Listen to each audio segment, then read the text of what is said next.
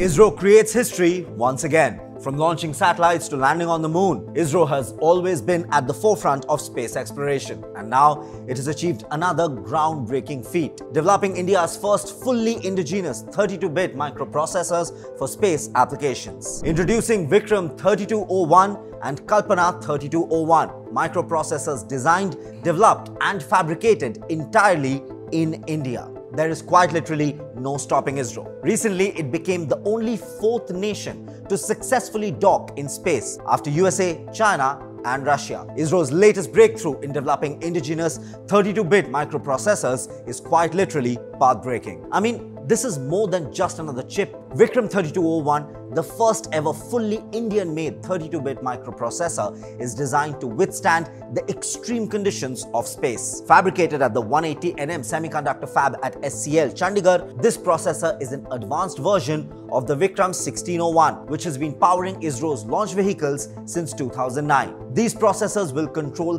critical avionic systems of rockets, ensuring precision, stability and resilience in India's uh, future space missions. Semiconductors are quite literally now the backbone of modern technology. Until now, India has relied heavily on foreign chips for space applications, but that's about to change. With Vikram 3201 and Kalpana 3201, India is breaking free from dependency and it's establishing itself as a leader in space-grade microprocessors. In the past, ISRO sourced key processors from global semiconductor giants, but with increasing geopolitical uncertainties and supply chain disruptions, the need for indigenous semiconductor capability became more urgent than ever before. But let me tell you, ISRO's space chips are just one piece of a much bigger puzzle. Meet Shakti, the first Indian microprocessor developed by IIT Madras aimed at reducing dependency on Chinese and Western imports. Shakti is built on the open source RISC-V architecture and is designed for everything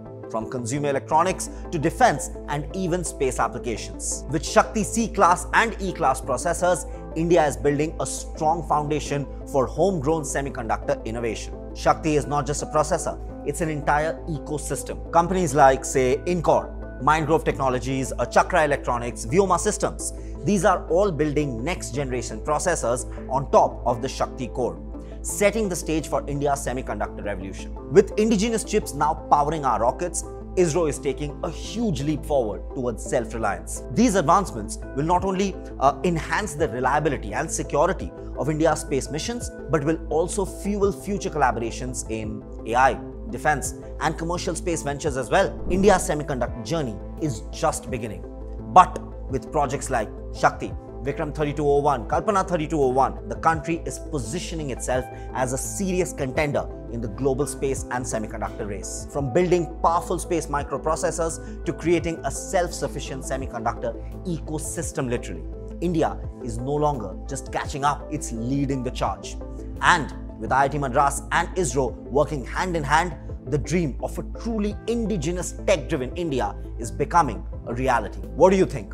Is India ready to lead the global semiconductor industry? Tell us in the comments below. Don't forget to share this video with a fellow AI and tech enthusiast just like you, just like me. And of course, don't forget to subscribe to AIM TV because we bring for you the real-time live updates from the world of tech and AI because think AI, think AIM.